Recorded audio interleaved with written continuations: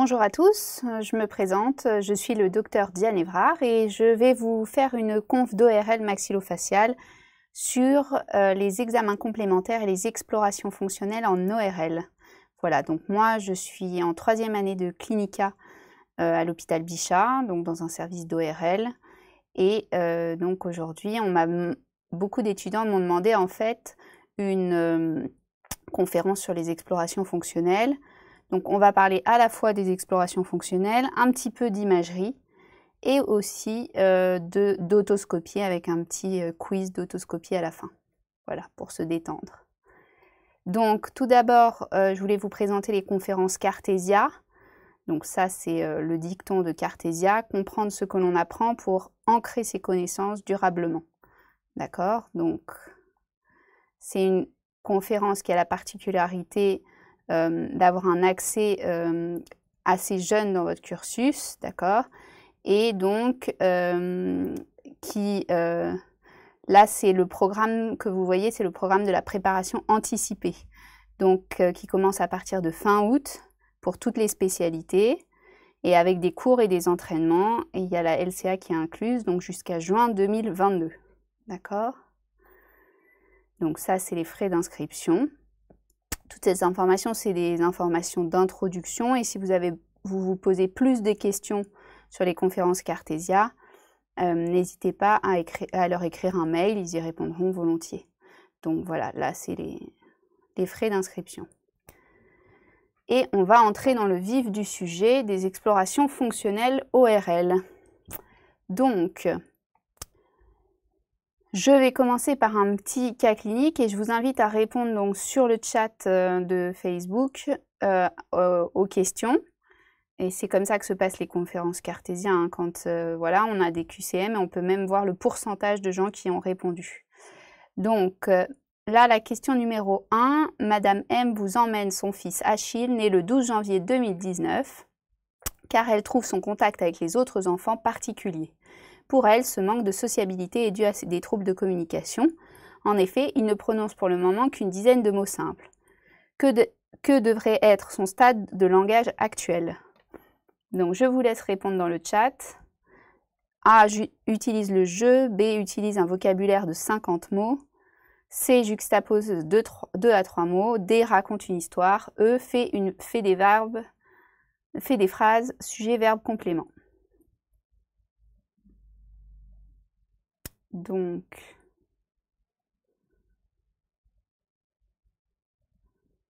n'hésitez pas à répondre sur le chat. Je vous laisse quelques secondes. Je vais, même, mettre un petit chrono là de 15 secondes.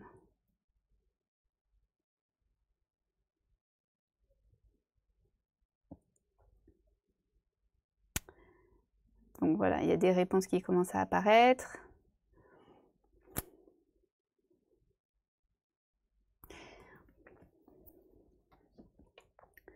Très bien. Donc, c'est parfait. Donc effectivement, je vois beaucoup de B et C et c'était les bonnes réponses. Donc un enfant, là, il a deux ans et demi. Euh, il utilise environ un vocabulaire de 50 mots et il commence à juxtaposer 2-3 mots. Voilà, je vous ai mis ici, donc je, je, vous ai mis ici les étapes de développement du langage qui sont à connaître euh, et qui sont assez simples. Il faut retenir les étapes, euh, les étapes importantes. Donc à 3 mois, c'est des gazouillis, d'accord? À 6 mois, il imite les sons et les intonations. 12 mois, c'est le fameux un an où il fait les premiers mots, d'accord? Et les parents se battent pour savoir si c'est maman ou papa. 18 mois, 50 mots juxtaposition de 2-3 mots. Donc là, nous, il avait 2 ans et demi, donc il était là. Hein. Et à partir de 3 ans, euh, il va commencer à euh, utiliser le jeu, faire des phrases, des questions.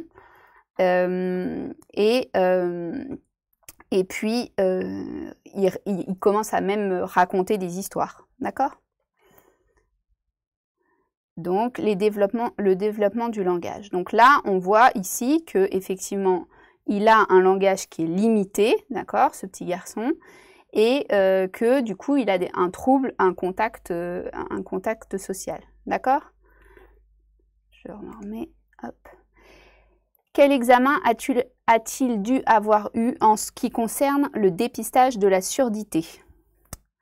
Donc, je vous laisse 30 secondes pour répondre. Donc, les auto-émissions évoquées acoustiques provoquées dans les trois premiers jours de vie, les potentiels évoqués auditifs précoces automatisés à 4 mois, l'examen à 4 mois obligatoire avec l'étude des réactions auditives au bruit familier, le réflexe d'orientation conditionné par un ORL à 9 mois, l'examen à 24 mois obligatoire avec, avec étude des réactions auditives aux jouets sonores. Donc, vous avez pu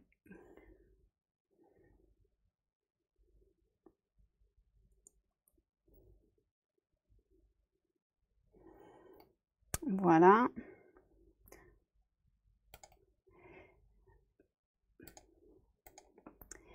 Donc, là, je vois quelques réponses. Donc,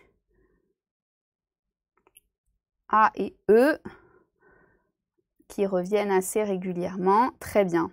Donc, effectivement, il y a eu un nouveau décret, donc en 2012, euh, pour le dépistage de la surdité euh, néonatale. En effet, c'est quelque chose qui est quand même assez euh, fréquent. Et donc, il y avait des, enfants qu'on ne dépistait pas assez tôt et donc qui étaient récupérés à 6 ans. et on s'apercevait qu'en fait, ils avaient une surdité profonde et on, on avait toujours dit ah, bah, il a un comportement un peu particulier. et voilà. Et en fait, c'était des enfants qu'on n'avait pas dépistés et ils avaient une surdité moyenne à sévère et donc euh, qui, qui, n'avaient pas la mise en place d'aides adaptées et puis surtout euh, de prise en charge médicale adaptée à leur surdité de manière précoce et notamment euh, depuis maintenant l'apparition de l'implant cochléaire, c'est quand même dommage de ne pas dépister ces enfants et de les laisser dans leur surdité alors qu'on a des moyens techniques de le faire. Et donc, pour vous dire comment ça se passe dans la pratique, donc voilà, là c'est une petite diapo pour vous rappeler que c'est l'arrêté de 2012 obligatoire en France. Et les prévalences de la surdité, c'est une surdité des formes légères à profondes, c'est 1,3 sur 1000 et, euh, et moyenne à profonde 0,9 pour 1000. D'accord? Et donc, le dépistage, de le dépistage de la surdité de l'enfant, ça se passe comme ça. Euh, généralement, dans la plupart des maternités maintenant, il y a des auto-émissions évoquées acoustiques provoquées. Donc c'est cet, appareil. Et en fait, c'est une infirmière de la maternité qui passe voir votre enfant de préférence quand il dort. Et il y a un tout petit capteur qui va, euh, qui va, qu'elle va le mettre dans l'oreille. Donc il ne faut pas qu'il fasse de bruit. Et en fait, ce petit capteur, il réceptionne les bruits que font vos cellules ciliées externes. Donc en fait, nous, on entend avec les cellules ciliées internes, mais elles sont posées sur une couche de cellules ciliées externes et elles, elles font du bruit, elles font un bruit qui n'est percevable que par la machine, hein, vous, ne le percevez pas, mais qui va permettre de détecter euh, effectivement une audition qui, enfin, en tout cas, une cochlée qui fonctionne ou non. Alors, ce test, il n'est pas parfait, hein, bien sûr, parce qu'il est un peu on-off, c'est-à-dire que vous arrivez à détecter une surdité qui euh, vous arrivez à détecter une surdité qui est supérieure à 30 décibels. Euh, et euh, donc, les surdités inférieures à 30 décibels ne seront pas détectées par les auto-émissions. D'accord? Généralement, donc, le, en maternité, on fait ces auto-émissions et vous voyez, je vous ai mis ici un petit exemple de, du, de ce qu'on remplit donc, sur le, sur le carnet de santé de l'enfant, donc la méthode qu'on a utilisée, si c'était normal ou pas. Parfois, on n'arrive pas à détecter ces auto-émissions parce que l'enfant a un petit bouchon, il a un conduit étroit ou qu'il était énervé quand on est passé et on dit aux parents juste d'aller refaire ce test euh, dans un cabinet d'ORL. Donc soit l'ORL il peut refaire l'auto-émission, soit il peut faire aussi des potentiels d'évoquer euh, potentiel évoqué auditif précoce automatisé. Et ça, c'est une méthode dont je vous reparlerai tout à l'heure. Euh, voilà, qui est une autre méthode qui permet de détecter chez l'enfant qui n'a pas besoin de coopération du, patient testé. Donc, et pour détecter les surdités de manière précoce. Vous aviez aussi, je vous fais aussi ici un petit rappel, donc après, parce qu'on peut passer à travers hein, le dépistage à, la maternité, il y a trois certificats obligatoires dans le carnet de santé, et ça depuis 1977, et ça vous devez bien les connaître parce que c'est un grand, euh, c'est quelque chose au niveau de la pédiatrie qui est important à savoir. Euh, et dans, tous ces, dans ces trois certificats, il y a une rubrique sur l'état de l'audition. Donc il faut savoir qu'ils sont rédigés par des pédiatres. Donc les pédiatres, ils n'ont pas forcément tout le matériel qu'a l'ORL, mais en tout cas, il essaye de faire des voix chuchotées en cachant ses lèvres et de voir si l'enfant réagit. Et les trois certificats sont faits à 9 mois, 24 mois et 6 ans. D'accord? Et il y a un examen à 4 mois qui est non obligatoire. Et pareil, là, on va euh, étudier les réactions auditives au bruit familier, la voix de la mère. Euh, généralement, on, demande à la mère d'appeler l'enfant euh, en cachant ses lèvres pour voir s'il réagit. D'accord? Donc ça, c'est pour les dépistages des, des surdités de l'enfant. Donc il faut savoir au niveau des surdités de l'enfant qu'il y en a 50 à 60% qui sont génétiques, d'accord? Il y a des surdités de transmission qui sont, elles, plus réglées par euh, chirurgie, donc bon, qui peuvent être généralement euh, euh, traitées assez facilement. Et puis il y a les surdités de perception. Donc soit elle est unilatérale, auquel cas bon, on est un petit peu moins inquiet. Si elle est bilatérale, il y a maintenant ce qu'on appelle des implants cochléaires, qui sont des choses qui ont révolutionné la vie de ces, enfants sourds, puisqu'ils permettent de réentendre et d'acquérir le langage. D'accord? Euh, un petit euh, moyen mémotechnique, parce qu'on est là pour ça aussi, pour euh, les causes de surdité, notamment prénatale, qui est le moyen mémotechnique TORCH, T-O-R-C-H, pour toxoplasmose, le O pour other, donc vous mettez là-dedans la syphilis, le VIH de la mère, hein, bien sûr, R pour rubéole, C pour CMV, et H pour herpès. Donc c'est tout, euh, toutes les causes de surdité prénatale euh, qui sont à bien connaître. D'accord? Il y a aussi les atteintes bien sûr toxiques euh, et d'autres choses, hein, mais, tout ça est bien, est bien décrit dans le collège d'ORL. Alors, on va passer à la question numéro 3. Donc, vous, vous l'adressez donc à un ORL, ce petit garçon, parce que vous, voyez que son langage n'est pas développé correctement et on vous demande, enfin, je vous pose la question de quel type de mesure de l'audition va-t-il pouvoir bénéficier? Donc pareil, je vous laisse 30 secondes.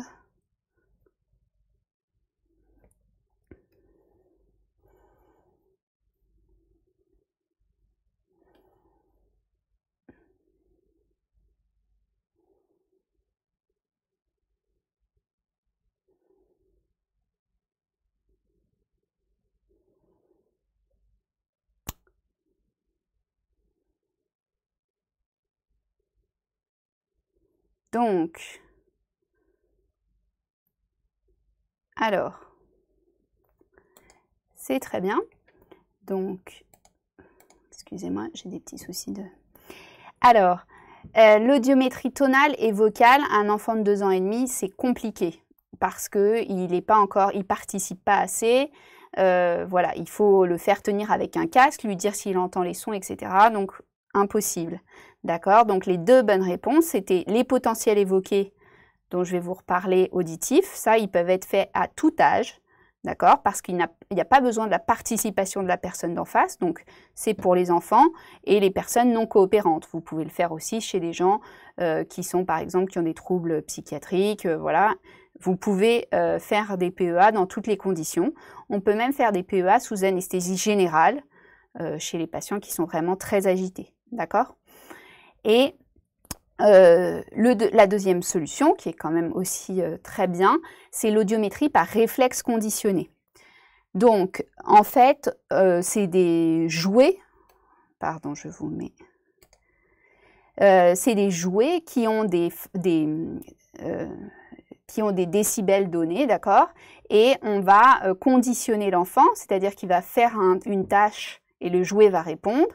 Et puis euh, ceux à des intensités euh, sonores différentes pour voir un peu, et on peut établir comme ça un audiogramme à 10 à 15 décibels près, d'accord en diminuant euh, l'intensité sonore au fur et à mesure, d'accord Donc il faut quand même que l'enfant soit, soit participatif et comprenne. Et à partir de 5 ans seulement, on peut faire une audiométrie tonale subjective, donc le même test que l'on fait aux adultes. D'accord? Donc vous avez ici tout répertorié. Euh, et je vous ai mis ici quelque chose de très important à ne pas oublier, euh, qui est euh, de toujours associer au dépistage de la surdité un bilan orthophonique, un examen psychologique avec détermination du QI. parce qu'effectivement, il y a aussi des enfants qui peuvent avoir des problèmes de compréhension avant d'avoir des problèmes de surdité. Et puis, il y a aussi des problèmes psychiatriques qui peuvent se, un peu s'imbriquer avec les troubles, les troubles euh, hypoacousiques, d'accord, de surdité. Donc ça, c'est essentiel à prendre en charge. Le bilan orthophonique et l'examen psychologique, c'est des choses qui vont avec l'audiogramme. Donc, on part sur... Euh, sur autre chose, puisque sa maman profite de la consultation, elle a 32 ans, et elle profite de la consultation chez l'ORL pour euh, réaliser également un examen auditif pour elle, car elle a l'impression de moins bien entendre de l'oreille droite, euh, dont voici le résultat. Donc c'est un audiogramme tonal, et donc ça c'est l'oreille droite, et je vous laisse me dire quelles sont les affirmations vraies. Je vous laisse 30 secondes.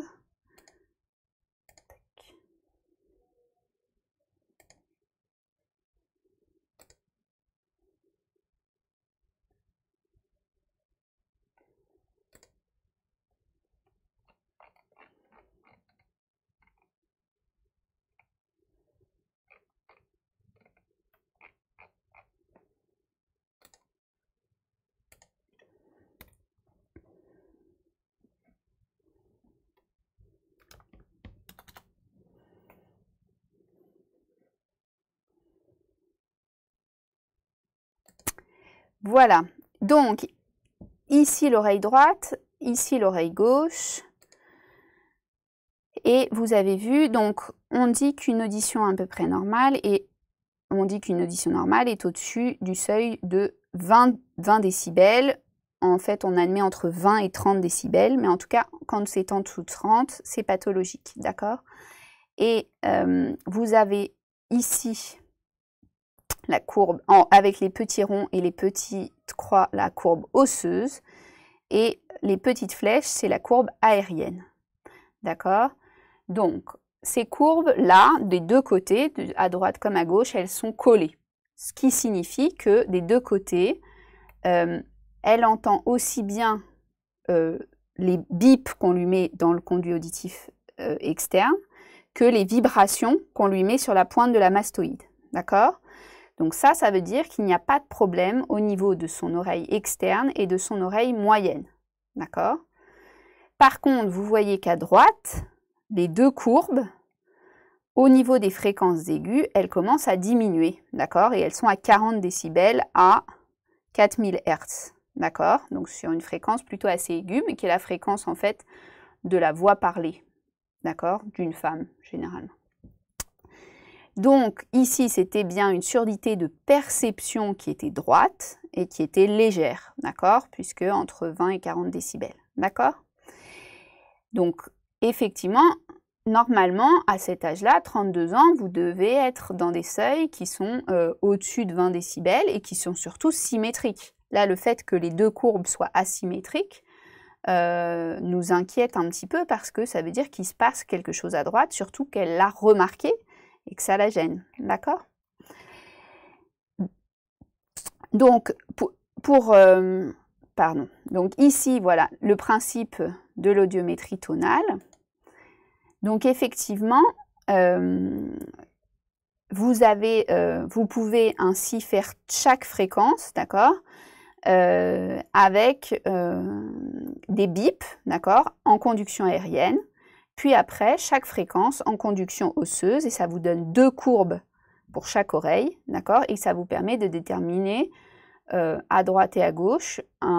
C'est un examen subjectif, d'accord, qui vous permet de déterminer à 5 décibels près l'audition du patient, d'accord? Vous pouvez calculer la perte totale avec cette formule, d'accord? Vous calculez la perte à 500, à 1000 et à, 2000 et à 4000 Hz et vous divisez par 4. Et là, je vous ai remis les seuils de surdité légère. Donc 20 à 39 décibels, c'est légère. Moyenne 40 à 69. Sévère 70 à 89. Et quand on est à plus de 90, on est dans une surdité profonde. En fait, on peut appeler ça aussi une cophose. D'accord? Vous verrez ça aussi marqué sur vos, euh, sur vos, dans vos livres.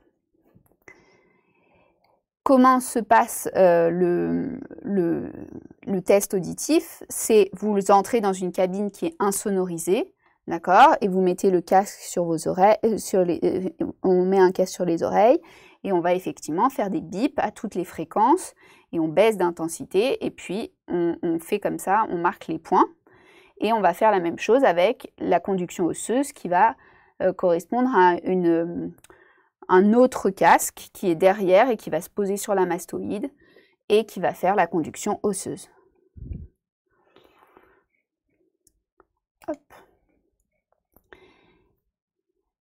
Voici la suite de l'examen réalisé. Quelles sont les affirmations vraies?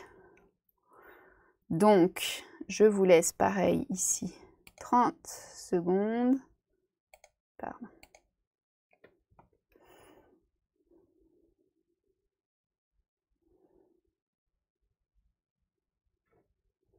Alors, je vous laisse répondre dans le chat. Hein. C'est bien. Euh,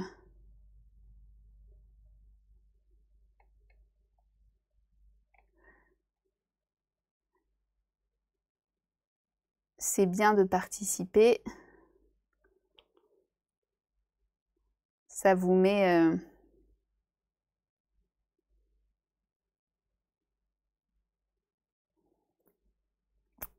ça vous met euh, des petits défis de la soirée. Donc, je vois pas trop de réponses pour le,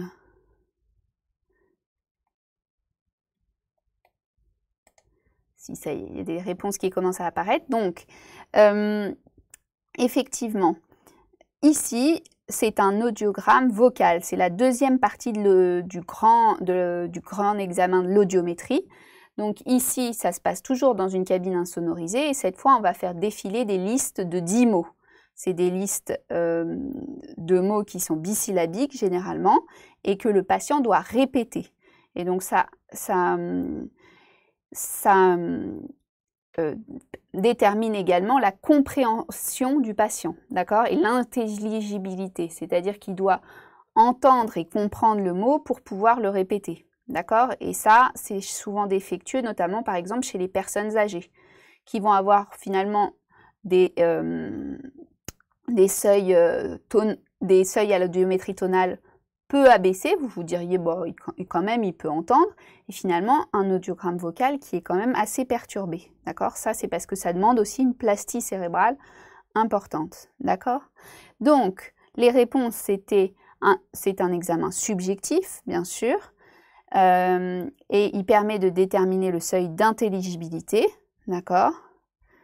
Donc là, à droite, donc la courbe droite, c'est la courbe pathologique, 20%, donc si vous vous mettez, d'accord, euh, ça c'est le nombre de mots en fait euh, répétés, et ça c'est les là ici vous avez, pardon, je ne sais pas si vous voyez bien, là c'est les décibels, d'accord, cette courbe-là, et ça c'est le pourcentage de mots répétés, sachant qu'à chaque fois, à chaque euh, décibel, on dit 10 mots, d'accord Et là, donc, euh, à 25 décibels, il répète 20% des mots. D'accord C'est ce point que vous voyez ici. D'accord Et à euh, gauche, 100% des mots sont, sont, répétés à 20 décibels. Donc ça, c'est une, audio, une audiométrie vocale normale. D'accord?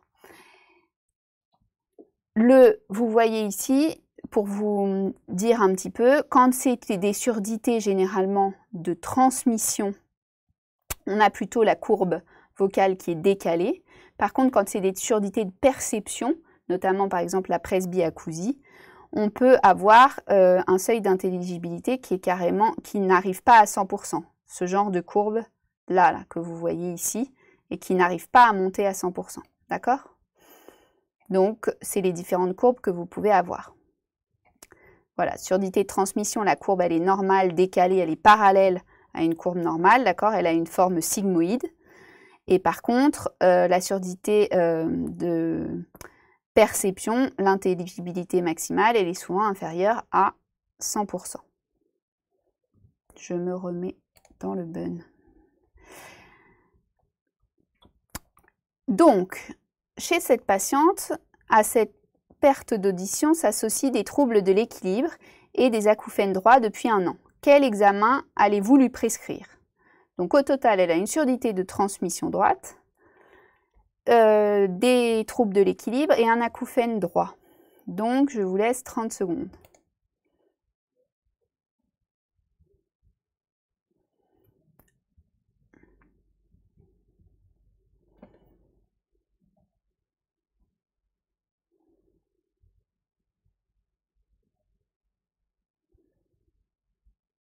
Alors, pour répondre à la question euh, de pourquoi la D précédente était fausse, à droite, le seuil d'intelligibilité, il n'était pas inférieur à 100%.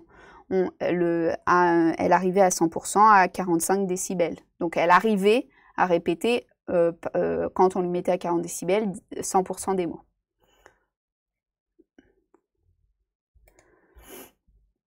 Donc, effectivement, vous avez une triade assez typique. Et là, les examens que vous allez lui demander, c'est la vestibulo... Euh,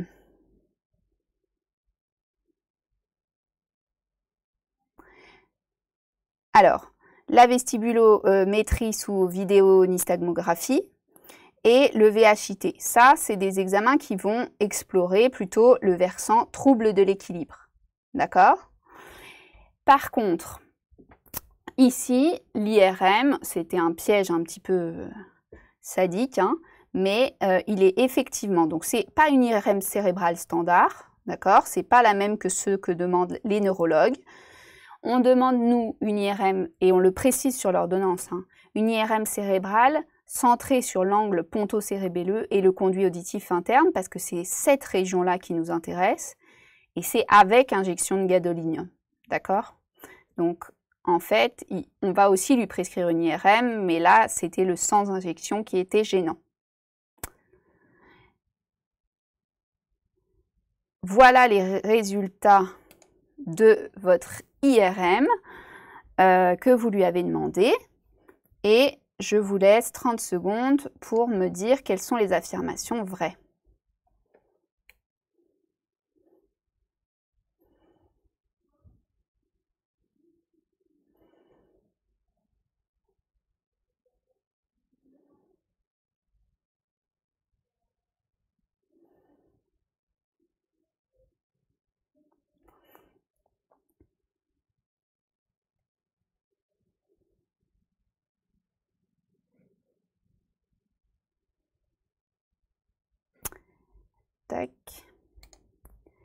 Donc, il s'agit d'une IRM, hein, bien sûr, vous le reconnaissez du scanner, ça, je ne vous apprends rien. Euh, et c'est une coupe, euh, c'est une séquence T1 avec une injection de gadolinium et en coupe axiale, d'accord? Donc là, on avait A et C. Et vous voyez ici à droite, donc ici, j'espère que vous voyez bien mon curseur. Ici, c'est le conduit auditif interne, d'accord? Et ici, l'angle ponto-cérébelleux. Et ici, vous voyez qu'il y a une asymétrie hein, avec une lésion qui est assez bien limitée, arrondie ou ovalaire, d'accord? Et qui prend le conduit auditif interne et qui va dépasser dans l'angle ponto-cérébelleux. Ici, vous avez le tronc cérébral, d'accord? Je vous dis ça parce que c'est important dans la classification de ce genre de lésion. Euh, parce que euh, donc ce, type de lésion, hein, c'est un schwannome vestibulaire. C'est des lésions bénignes du euh, nerf numéro 8, donc qui sont dans le conduit auditif interne et qui sont bénignes, donc par définition, qui ont des bords bien arrondis, mais par contre qui ont quand même des séquelles importantes, puisqu'elles ont des séquelles sur l'audition, et puis sur le nerf facial, qui se trouve également dans le même conduit, et donc il peut y avoir des phénomènes un petit peu de, euh, de, compression, d'accord? Et euh, ça peut aussi déborder effectivement au niveau du tronc cérébral. Et donc, le rapport avec le tronc cérébral établit la classification du neurinome. D'accord? S'il est au contact du nerf du tronc cérébral, il va commencer à passer dans un, stade supérieur. D'accord? Donc, donc, en euh, T1, euh, les lésions sont en isosignal. Les T2, mais on les regarde très peu, sont en hyposignal. Et surtout, ce qui va être important, c'est le rehaussement franc et homogène de la lésion. Donc homogène parce que c'est une lésion bénigne. Généralement, il faudra toujours que vous reteniez que les lésions bénignes, elles sont plutôt homogènes et les lésions malignes hétérogènes. Hein. Voilà.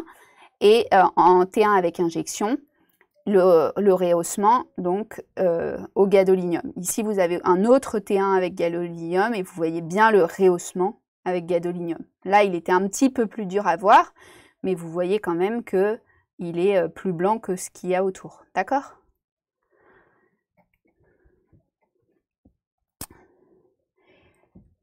Les signes morphologiques, je vous en ai parlé, donc c'est des lésions qui sont arrondies ou ovalaires, qui viennent du conduit auditif interne et qui vont s'étendre à l'ongle ponto-cérébelleux, d'accord euh, Et euh, qui ont des limites nettes et régulières.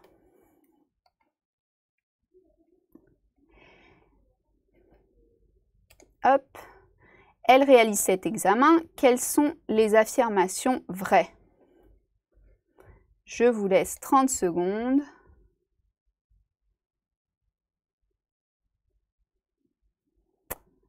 Donc, j'espère que vous voyez assez bien l'examen.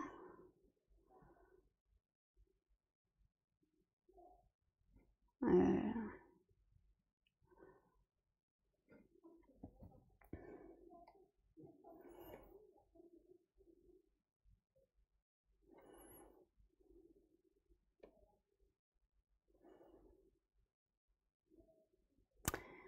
Alors,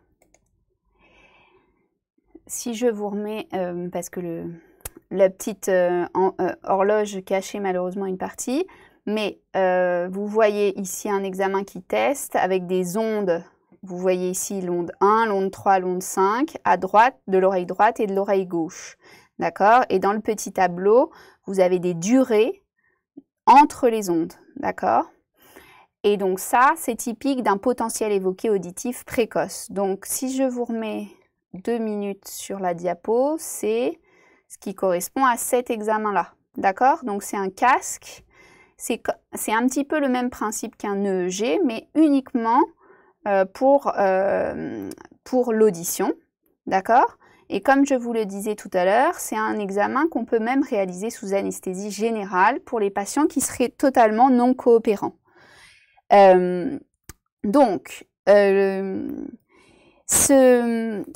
euh, au niveau autologique, cet examen, il permet plusieurs choses. C'est une mesure objective, là, euh, du seuil auditif, et avec une précision de 10 à 15 décibels. D'accord?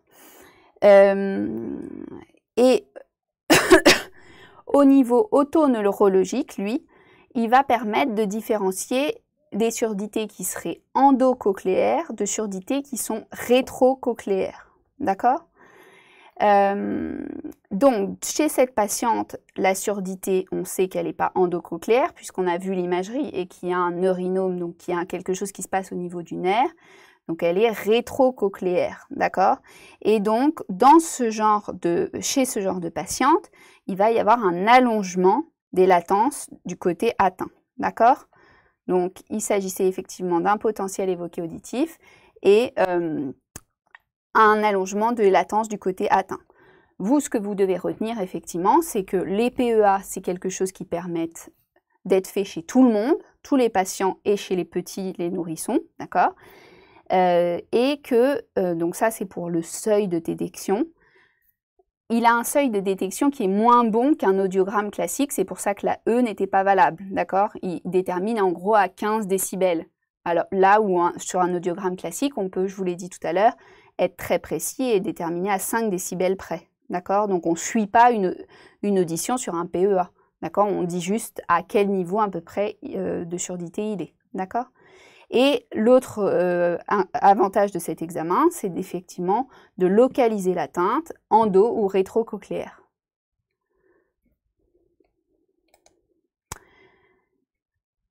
Voilà, et aussi l'autre chose que je ne vous ai pas dit, c'est qu'il n'explore que les fréquences aiguës. Donc si vous avez une surdité uniquement sur les fréquences graves, il ne va pas être euh, très bon. D'accord?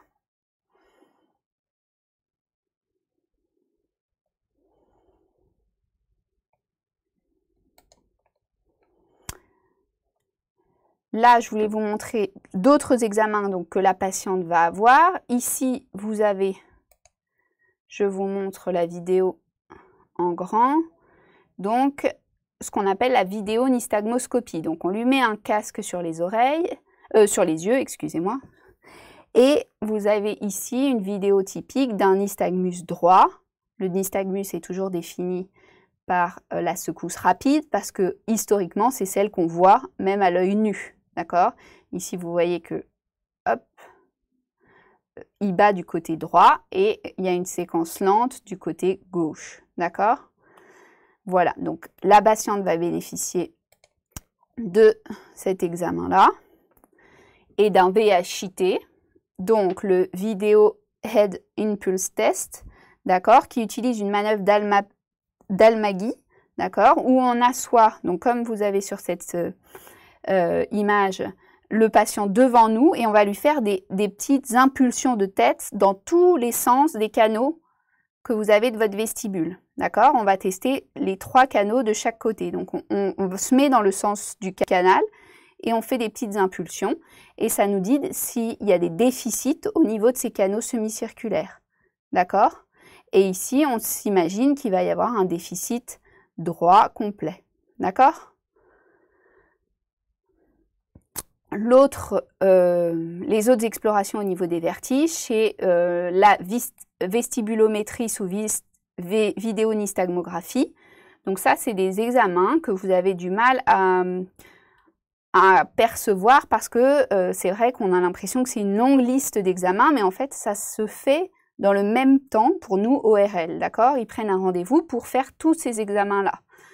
Le principe de la vidéonystagmographie, c'est exactement euh, le même principe que la vidéonystagmoscopie, c'est-à-dire que c'est un masque que vous voyez ici sur cette photo, un gros masque noir, qui va juste enregistrer euh, les mouvements des yeux, Dans un premier temps, on va regarder les mouvements des yeux de manière spontanée, dans la lumière et dans l'obscurité, puis à certaines positions données, et c'est là où on va tester vraiment de manière euh, assez pointue le vestibule. On fait après stimulation rotatoire sur un fauteuil qui tourne, d'accord? Et après stimulation calorique, la photo que vous voyez ici, on va mettre, euh, injecter de l'eau froide euh, dans l'oreille droite à 30 degrés et puis euh, et puis de l'eau chaude dans l'oreille gauche et ça va stimuler les, pareil le vestibule. Et donc pendant toutes ces manœuvres, on on enregistre le mouvement des yeux du patient. D'accord? Et on obtient ce genre de résultat qui s'appelle, là c'est uniquement les épreuves caloriques. Et donc ici, vous aurez un déficit euh, de l'oreille droite puisque euh, quand on a un neurinome, généralement, euh, le nerf vestibulaire, il est, il est impacté et donc ce qui explique ces troubles de l'équilibre. D'accord? Donc le déficit de l'oreille droite, généralement, il va se matérialiser par le papillon que vous voyez ici des deux courbes qui est vraiment euh, plutôt de côté euh, là. D'accord? Euh, Et donc, le, cette épreuve calorique, bien sûr, il ne faut pas, vous ne pouvez pas, vous n'avez pas à savoir la lire. D'accord? Mais c'est juste pour vous expliquer que tous ces examens euh, sont en fait un principe d'enregistrement des yeux après stimulation du vestibule. D'accord? Donc, j'espère que j'ai été claire et sinon vous pouvez poser des questions sur le chat sans souci. On passe à un autre. Euh, donc là, effectivement, le schwannome vestibulaire, pour que vous ayez un petit peu la suite, c'est des gens donc, qui ont des lésions bénignes qu'on va surveiller de manière assez rapprochée par des IRM pour voir un petit peu l'évolution euh, de, euh, de cette lésion. Et en fait, elle commence à nous inquiéter quand elle vraiment elle est au contact du tronc cérébral, comme je vous expliquais tout à l'heure. Et là, on commence à avoir euh, différents traitements. Le traitement chirurgical, d'accord, qui va permettre de l'enlever, mais qui, vous imaginez, a des, des risques assez importants parce qu'à côté, il y a le nerf euh, facial. Et aussi, le, il y a, le il y a des, maintenant un traitement qui est assez couru, qui est de la radiothérapie chirurgicale, parce qu'elle est très très précise et elle est sur la lésion bénigne uniquement qui s'appelle du gamma knife, d'accord? Et on a ces deux possibilités de traitement là, d'accord? Mais c'est des, généralement, c'est des chirurgies à risque parce que vous, avez vu, c'est dans des endroits où il y a énormément de choses, notamment, euh, notamment le nerf facial qui est quand même quelque chose d'assez important. On passe à la suite. Donc, Madame M, qui est très satisfaite de votre prise en charge, vous emmène sa cousine de 28 ans. Elle se plaint d'une surdité droite associée à des acouphènes apparus pendant sa grossesse. Elle n'a pas de trouble de l'équilibre. Sa grand-mère a également été sourde très jeune et elle est donc inquiète. L'autoscopie est normale. À l'acoumétrie, il existe effectivement une surdité droite avec un Weber latéralisé à droite. L'audiométrie retrouve le résultat suivant. Quelles sont les affirmations vraies? Vous avez 30 secondes.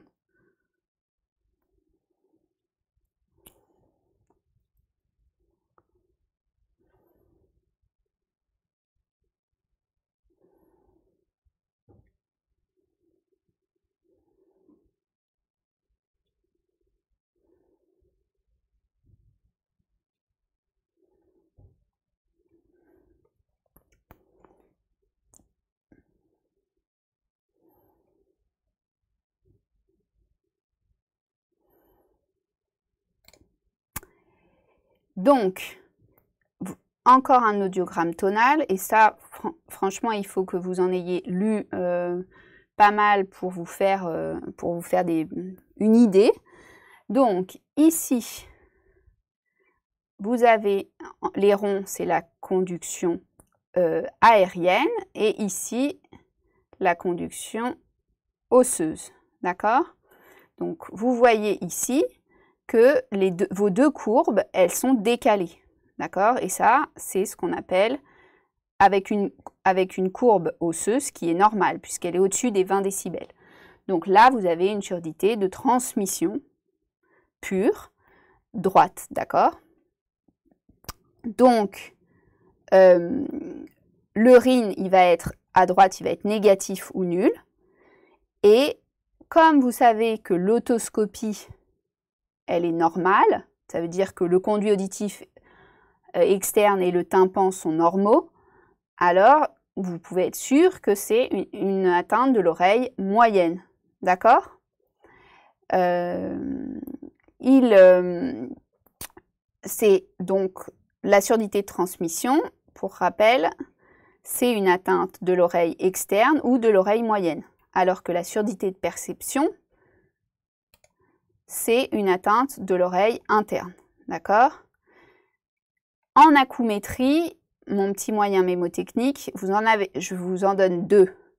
Donc, la première, c'est de, si vous êtes euh, visuel, enfin perceptif, au moyen mémotechnique, je vous conseille de vous boucher une de trouver un diapason, premièrement. Donc, c'est avec ça que se fait l'acoumétrie. C'est l'ORL, il a toujours un diapason euh, dans son cabinet et euh, il va euh, faire le test, le premier test qui est le test de Weber. Il va poser le diapason sur le front du patient et va demander de quel côté il l'entend. Si vous, vous le faites et que vous vous bouchez une oreille avec le doigt, vous allez voir que vous entendez les vibrations dans l'oreille qui est bouchée. D'accord? C'est logique parce que de manière euh, comparative, vous allez mieux entendre la conduction osseuse du côté de l'oreille qui est bouché, d'accord? Parce qu'en fait, votre oreille interne, elle, du côté bouché, elle marche très très bien. Et le RIN, il est nul ou négatif parce que de la même façon, vous allez mieux entendre votre conduction osseuse sur la pointe de la mastoïde que devant l'oreille, la conduction aérienne, puisque l'oreille externe ou moyenne sera bouchée. D'accord? Et le deuxième moyen mémotechnique, pour ceux qui ne s'en souviennent pas, c'est pour le Weber. WTA, c'est Weber transmission atteint. D'accord? Le Weber est latéralisé du côté atteint pour les surdités de transmission. D'accord? Donc ça, c'est pour la coumétrie. Donc ça se passe avec un diapason et ça se passe... C'est, enfin, nous, quand on fait un examen ORL, on utilise le diapason de manière très fréquente. D'accord?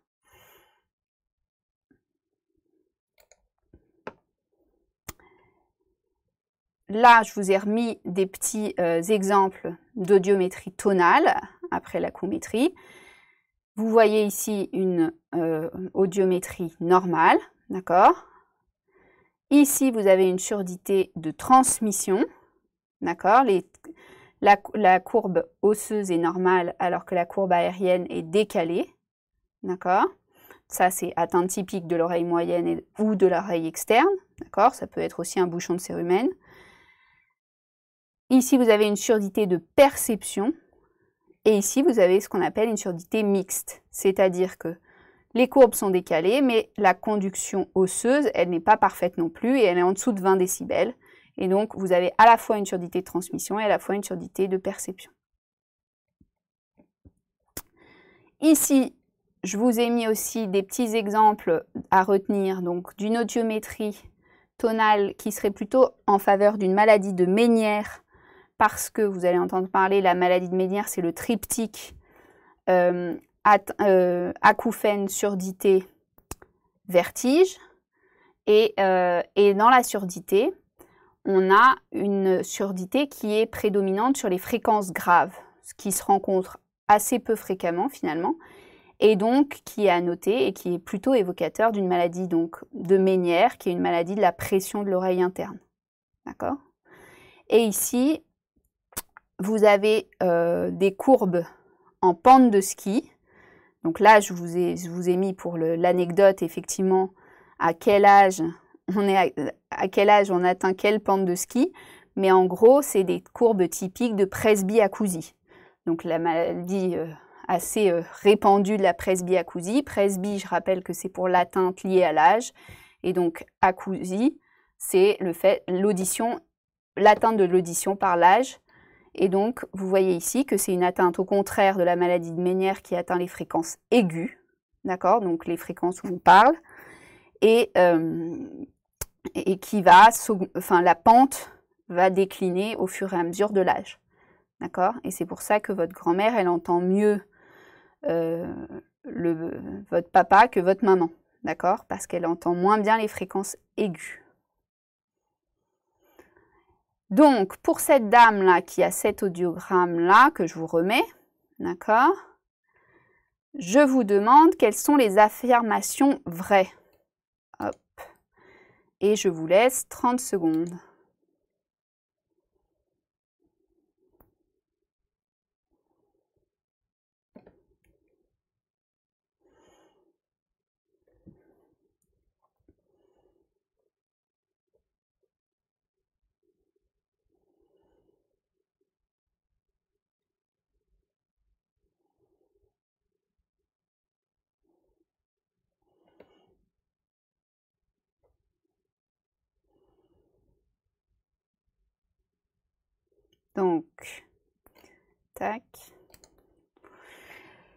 Donc, effectivement, si on revient euh, sur... Pardon, excusez-moi, je m'avance un peu. Si on revient sur l'audiogramme, c'est une surdité de transmission avec un signe assez pathognomonique ici, qui est l'encoche de carte au 2000 Hz. C'est-à-dire que au 2000 Hz, la conduction osseuse, vous voyez que la conduction osseuse, elle montre aussi un petit signe de faiblesse et qui fait cette encoche qui est typique de l'autospongiose. Donc il fallait effectivement répondre la réponse A, votre premier diagnostic, et aussi c'est un diagnostic de fréquence parce que c'est la surdité de transmission à tympan normal la plus fréquente, d'accord? En plus, elle atteint de manière assez systématique l'adulte jeune et la femme jeune en particulier, autour de 30 ans. Généralement, effectivement, elle est favorisée par les grossesses. Enfin, en tout cas, il, y a une chute de l'audition pendant la grossesse. D'accord? Et c'est une maladie qui est héréditaire. Euh, avec des, voilà, avec des facteurs hormonaux qui peuvent, euh, peuvent l'aggraver. Donc la grossesse, la contraception.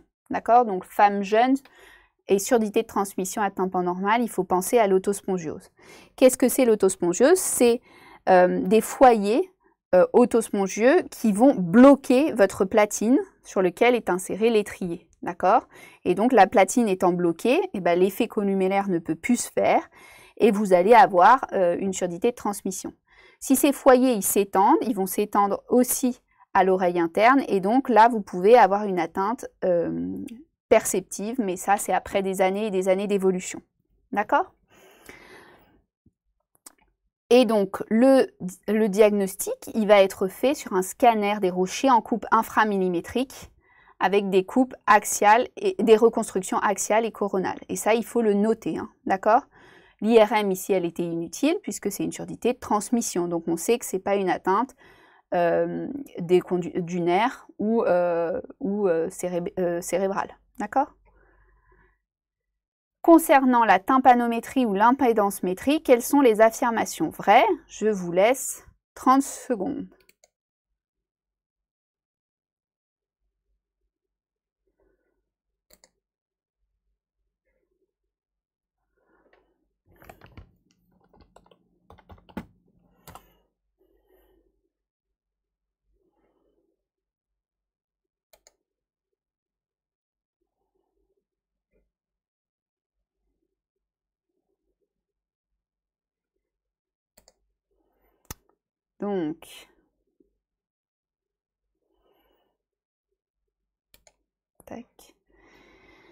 Donc, la tympanométrie ou l'impédancemétrie, c'est quelque chose qu'il faut également connaître. Et en fait, on a un peu du mal à le situer parce que, effectivement, on ne sait pas très bien euh, quand est-ce qu'il est fait, etc. En fait, il faut savoir que l'impédancemétrie, c'est fait en même temps que l'audiométrie, d'accord? C'est fait dans la même cabine, isolée, et à la fin de l'audiométrie, euh, l'ORL va vous faire ce qu'on appelle une tympanométrie ou impédancemétrie.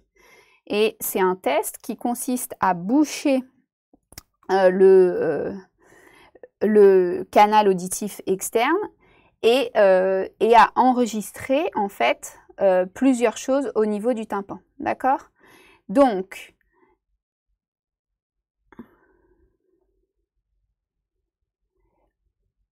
en gros, elle va mesurer effectivement la pression de l'oreille moyenne parce qu'elle va en fait envoyer un son à de hautes décibels, généralement 80 décibels, et euh, voir la réaction de la chaîne, d'accord? Elle va permettre d'évaluer la fonction tubaire également, d'accord, par la pression, d'explorer le nerf facial, ça c'est par le réflexe tapédien. Elle peut être réalisée, donc je vous le disais, par tous les ORL parce qu'elle fait partie des tests acoumétriques. Et donc, en fait, elle teste le système de transmission. D'accord? Je vais vous laisser répondre à la question 12 et après, je vous montrerai bien des exemples de... Euh, enfin, on continuera les explications de tympanométrie, mais sinon, ça va vous aider pour la question 12. Donc, pour cette patiente, quels seront les résultats de la tympanométrie à droite? Donc, je vous laisse 30 secondes.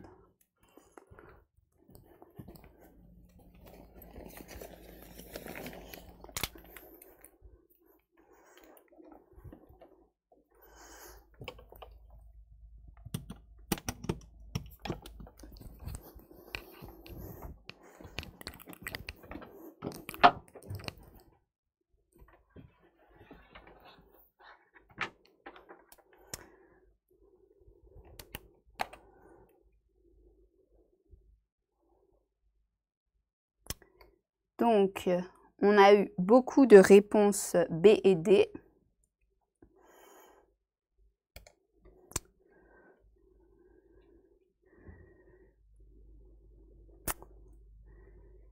Et donc, ici, euh, le tympanogramme ne sera effectivement pas entièrement normal parce que vous avez compris, il y a une atteinte de l'oreille moyenne, d'accord? Euh, La pression de l'oreille,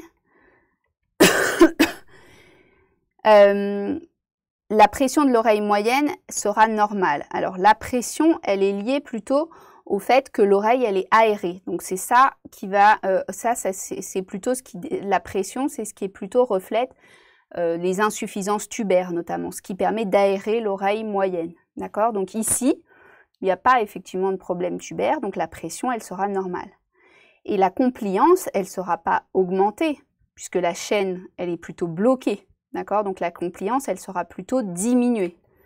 Et au niveau du réflexe stapédien, et ça c'est pathognomonique également, euh, on peut avoir soit au début de l'autospongiose un effet on-off, soit quand vraiment la platine est bloquée, euh, le réflexe stapédien il est bien sûr aboli. D'accord? Donc les deux réponses c'est B et D. D'accord? L'effet on-off, euh, c'est effectivement parce que de temps en temps elle se bloque et de temps en temps non et c'est au début de l'autospongiose. Puis après, quand votre platine est complètement bloquée, eh ben, le réflexe tapédien dont on va revoir l'explication, euh, il est complètement euh, absent. D'accord? Donc l'impédance métrie, voilà, je vous expliquais, ça se passe par l'ORL qui met effectivement un bouchon hermétique dans le conduit auditif externe et qui va envoyer un son, euh, d'intensité réglable et on va calculer euh, la pression, d'accord C'est des pressions qui sont calculées. Et le résultat que vous obtenez, il est sous cette forme. Là, vous avez un tympanogramme normal qui fait une espèce de montagne, d'accord Et on calcule le volume sous la courbe, mais également le, décalage du pic. Ça, c'est la pression. Le, volume sur la courbe, c'est la compliance.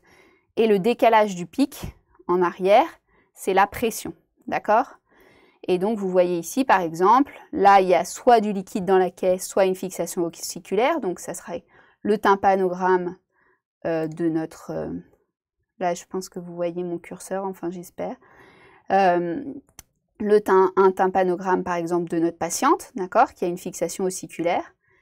Par contre, si la chaîne est interrompue, bah là, vous avez une compliance qui est complètement à la volée, puisqu'il n'y a, pas de résistance, d'accord? Euh, et là, vous avez plutôt euh, euh, des, des, insuffisances tubaires avec des chaînes décalées. D'accord? Je pense en termes de, de CN qu'on ne pourra pas vous faire tomber un million de tympanogrammes. D'accord? Donc il faut retenir celui-là, celui-là, la chaîne interrompue, d'accord? Et celui-là, donc les trois premiers. D'accord? Mais en tout cas, il faut retenir que l'impédance métrie, c'est fait après l'audiogramme. Et donc, la deuxième chose qui permet de tester, c'est le réflexe stapédien. Et c'est exactement la même machine, d'accord? C'est au même moment et on fait le réflexe stapédien. Et lui, le réflexe stapédien, donc, il, est, il teste à la fois votre nerf auditif, mais à la fois votre euh, nerf facial. Hein. vous pouvez retrouver, j'ai fait un petit topo sur la paralysie faciale où j'explique bien de manière anatomique et physiologique toutes les fonctions du nerf facial. Mais il a, il a une fonction sur le muscle de l'étrier qui fait ce réflexe hein, qui nous permet de nous protéger des sons euh, forts. Et donc, il met en jeu le nerf facial. Donc, ça teste les deux. Donc, vous pouvez, le réflexe tapédien, il permet à la fois, il a une fonction euh, euh, euh, auditive, d'accord, il teste le nerf auditif, mais il a aussi une fonction de localisation de l'atteinte si vous avez un, problème sur le nerf facial. D'accord? Et donc ici, vous comprenez bien que si votre étrier en bout de chaîne il est bloqué, eh ben, vous n'avez pas de réflexe parce que le nerf, facial a beau stimuler le muscle de l'étrier, l'étrier ne bougera pas, d'accord? Il ne se bloquera pas.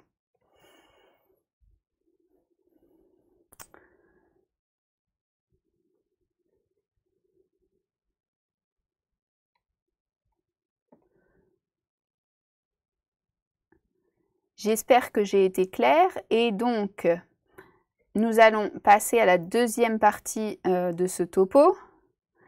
j'ai essayé de résumer donc dans ces deux, enfin dans ces trois, sur ces trois personnages, un peu l'ensemble des examens fonctionnels ORL que vous allez pouvoir voir. Euh, et euh, pour vous faire visualiser un petit peu comment ils sont faits, par qui et dans quelles conditions. Euh, c'est vrai que c'est des examens qui font un peu peur, et, mais en gros, il faut savoir qu'il n'y a quand même pas énormément de pathologies qui sont tombables. Et donc, vraiment, je pense que il faut, faut, faut, bien, faut bien se mémoriser ces, ces grands tableaux-là de la surdité de perception, euh, et donc de la surdité de perception, notamment rétrocochléaire avec l'atteinte du nerf auditif et le, par exemple le schwannome vestibulaire, ou la surdité de, de transmission avec l'autospongiose. Euh, et, euh, bien apprendre ces tableaux-là, et puis après, ça sera plus facile en fait d'inclure les examens complémentaires dedans. Donc, j'espère que vous êtes tous là. Et qu'on on va pouvoir passer à des quiz de d'imagerie.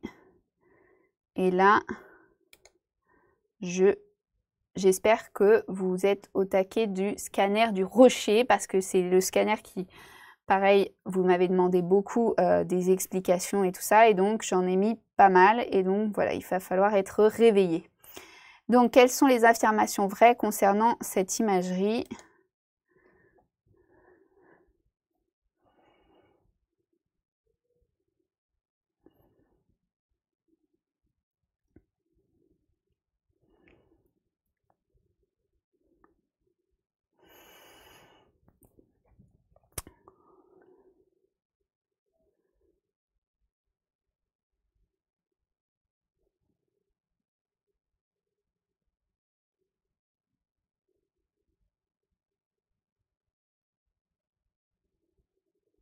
Donc, tac, tac, tac.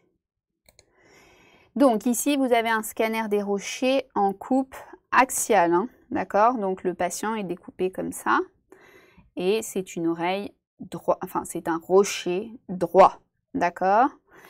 Euh, Donc l'avant du patient, j'espère que vous voyez à chaque fois, euh, l'avant du patient est ici, l'arrière est ici, vous avez ici le plus facile, hein, les cellules mastoïdiennes, donc de la mastoïde, qui sont quand même assez typiques. Et vous voyez ici qu'elles sont bien aérées, elles sont noires, d'accord Donc pas d'otite chronique en vue. Et ça fait effectivement comme un espèce de... Euh, je trouve que ça ressemble un peu à des taches de, taches de léopard, d'accord Dans le rocher. Et ça, c'est l'aération de l'oreille, d'accord euh, Ici, vous avez le début du conduit auditif externe, d'accord euh, Excusez-moi.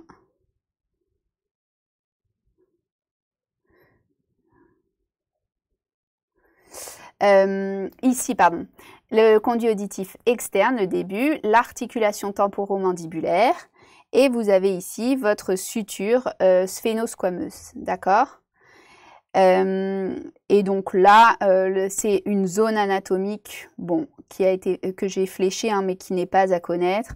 Mais c'est le tenseur du voile du palais qui s'insère jusqu'ici pour vous montrer que donc tout tout remonte assez haut pour tendre le voile du palais, vous aider à parler, d'accord?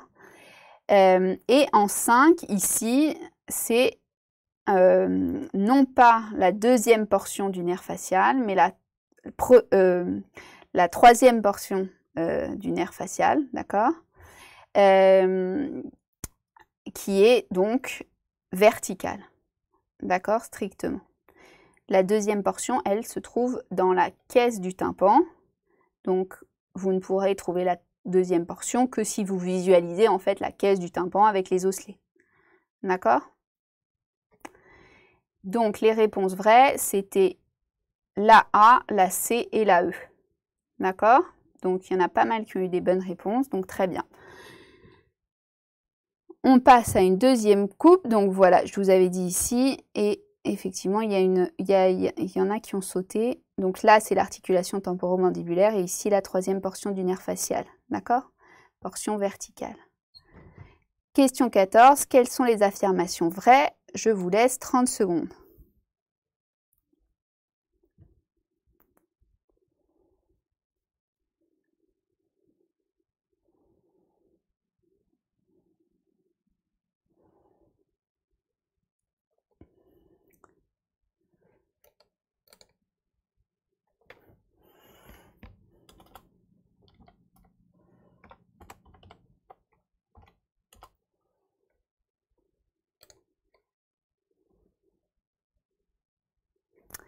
Donc, pareil, on est en coupe axiale et on va remonter. Et donc, là, c'est l'avant et là, c'est l'arrière du patient. Euh, ici, là, le petit escargot que vous commencez à voir apparaître, c'est la cochlée. D'accord? Euh, Je vous dis, les, là, vous avez ici le col du marteau. D'accord? Et ici, ça, c'est l'enclume. Donc, j'espère que vous voyez... Que vous voyez le curseur. Euh, donc, là, pardon, excusez-moi, le petit escargot, la cochlée, ici, le marteau, ici, l'enclume, et vous voyez ici, là, une très jolie image d'étrier, d'accord? Vous ne pouvez pas le louper, hein Donc ici, c'est la platine, d'accord? Euh, ici, vous avez le canal semi-circulaire postérieur. D'accord? Et ici, c'est l'aqueduc du vestibule. Bon, ça, c'est quand même une structure anatomique un peu complexe, donc que vous n'avez pas forcément à connaître. Mais ici, le canal semi-circulaire postérieur, pourquoi pas, d'accord?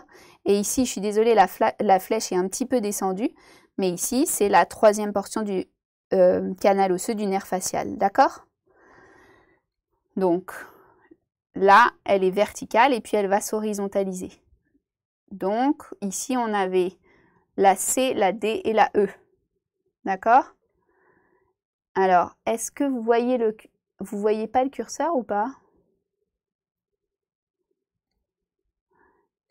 Alors, je suis désolée. Je vais faire juste une petite pause. Enfin, comme vous êtes un tout petit peu en décalé, est-ce que vous pouvez me dire si là, vous voyez le curseur? Ok. Merci. Désolée. Donc, euh, n'hésitez pas à le dire quand, vous, quand je clique pas parce que c'est pas très instinctif. Désolée. Euh, donc voilà ici euh, la diapo résumée. Euh, la longue apophyse de l'enclume, donc l'étrier, et la troisième portion du nerf facial. Une autre coupe pour vous, et vous avez de nouveau 30 secondes.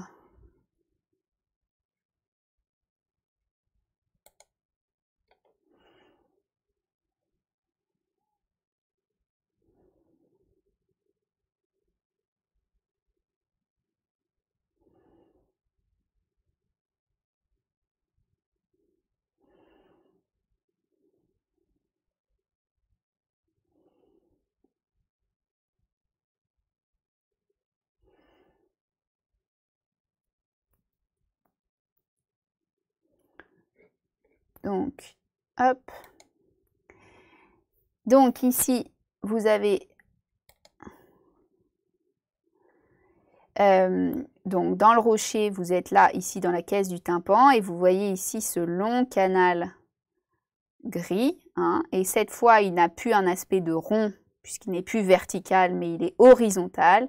Et donc, c'est la deuxième portion du nerf facial, d'accord? Il passe de vertical, troisième portion, à horizontale, deuxième portion, d'accord? Et donc, il va avoir un aspect linéaire, d'accord, sur cette coupe. Ici, pareil, euh, vous avez l'articulation incudomaléaire, d'accord? Euh, Avec ici l'enclume et ici le marteau, d'accord? Ici, vous avez la cochlée. Euh, et ici, le vestibule.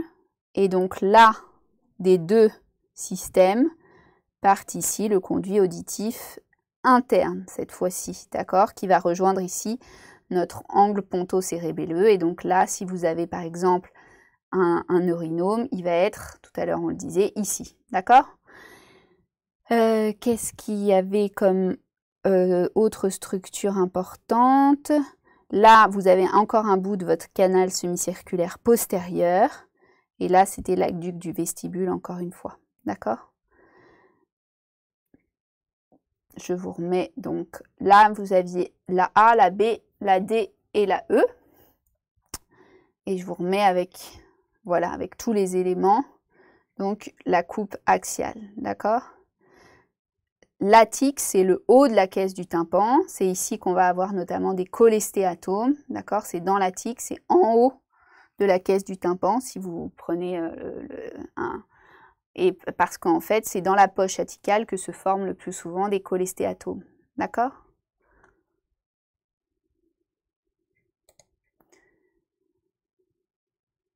On passe cette fois, on continue sur le scanner des rochers, mais je vous laisse un peu trouver qu'il y a une différence sur celui-là. Et je vous laisse 30 secondes.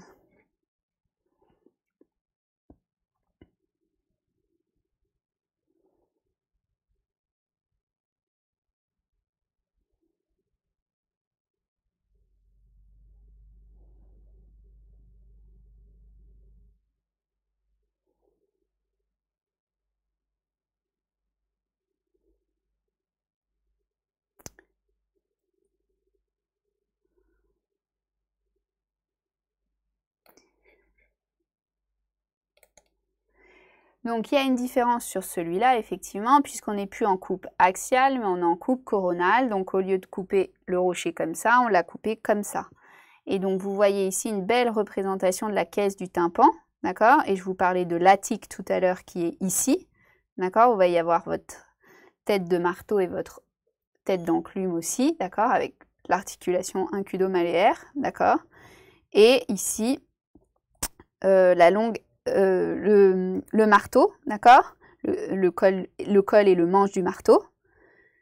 Et on visualise, si vous avez mis vos bons yeux ici, un tympan, d'accord? Bon, On le voit surtout quand on fait défiler en fait les coupes en scanner, mais voilà, ici c'est le tympan, d'accord? Euh, Et donc, euh, Ici, vous avez le fameux escargot de la cochlée. Donc, il s'agissait de la cochlée, mais cette fois en coupe coronale. D'accord? Et euh, ici, derrière euh, là, cette fois, ça, il ne faut pas se faire avoir. Hein. Ce n'est pas le conduit auditif euh, interne, d'accord? Parce que effectivement, on l'a dit tout à l'heure, il part plutôt dans ce sens-là et on a voilà, en arrière.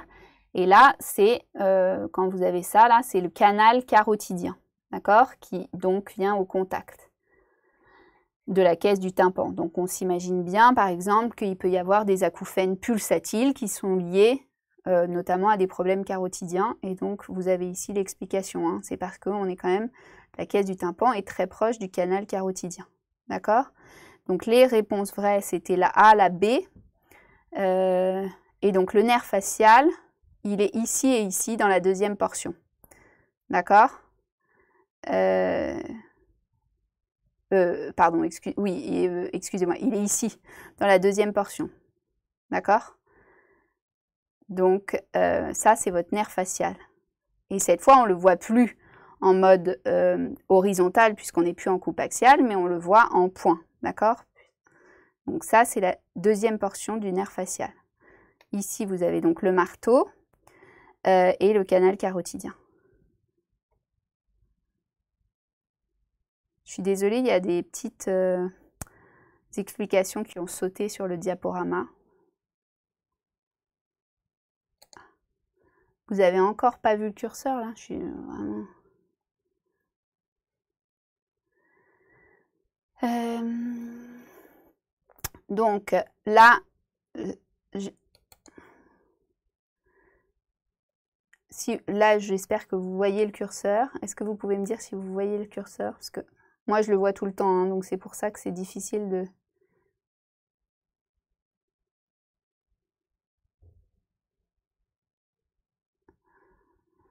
donc là, c'est le marteau, la cochlée, le nerf facial, d'accord, ici, dans sa deuxième portion, et euh, l'enclume ici, d'accord? Ok. Après le scanner des rochers, on va passer à un scanner cervico-facial injecté. Et pareil, je vous laisse me dire quelles sont les affirmations vraies.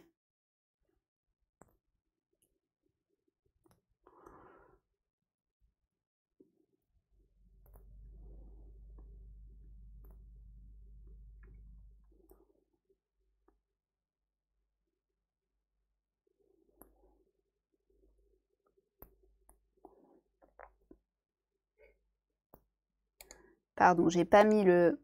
Je vais mettre 15 secondes.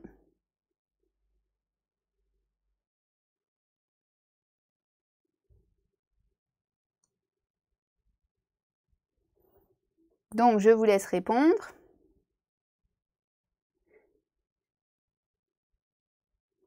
Je vois pas trop de réponses pour l'instant. Donc, c'est un scanner cervico-facial injecté, j'espère que là vous voyez le curseur, euh, et en coupe axiale, d'accord, au niveau euh, des, de la mandibule que vous voyez ici. Et là, reconnaissables parce qu'elles sont symétriques et qu'elles on a l'impression qu'elles sont au bord des mandibules, ce sont les glandes sous-mandibulaires que vous avez ici et que vous le palpez ici, d'accord vous pouvez vous dire que ce ne sont pas ici, par exemple, des adénopathies parce que vous voyez qu'il y en a deux symétriques et franchement localisées quasiment pareil, d'accord? Ici, c'est le début du bord libre de l'épiglotte, d'accord? Qu'on voit un peu, on a l'impression qu'il traîne un peu au milieu des voies aérodigestives supérieures, mais si vous descendez, voilà, ça va être le bord libre de l'épiglotte. Et là, c'est la gouttière jugulo-carotidienne, et on reconnaît toujours la veine jugulaire non pas externe, mais interne, puisqu'elle est toujours plus latérale que l'artère carotide, et surtout, elle est généralement, elle a un aspect moins rond, parce qu'elle se, elle est, elle est, elle est plus, elle peut se, se modélise un peu sur l'artère carotide, et donc du coup, elle a un peu un aspect en C autour de la carotide, comme ça. D'accord? Donc ça, c'est la veine jugulaire interne, à ne pas confondre avec la veine jugulaire externe que vous voyez ici au niveau du cou. Hein, D'accord? Et ça, ça forme la gouttière jugulo-carotidienne. Et donc ici, il y avait des adénopathies cervicales droite et gauche. Je vous en montre une ici, d'accord, qui est euh, en zone 5 là, d'accord. Là, il y en a une en zone 2A, euh, d'accord.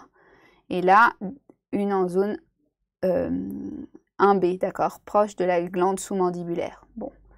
Euh, je ne pense pas qu'on pourra vous demander des questions sur la classification des adénopathies, mais en tout cas, pour les reconnaître, c'est simple, ce sont des, euh, elles sont ovalaires généralement, elles prennent le contraste, d'accord Et vous voyez qu'elles ne sont pas symétriques, c'est-à-dire que cette, euh, cette adénopathie-là, on ne la retrouve pas de manière ultra symétrique avec celle-là.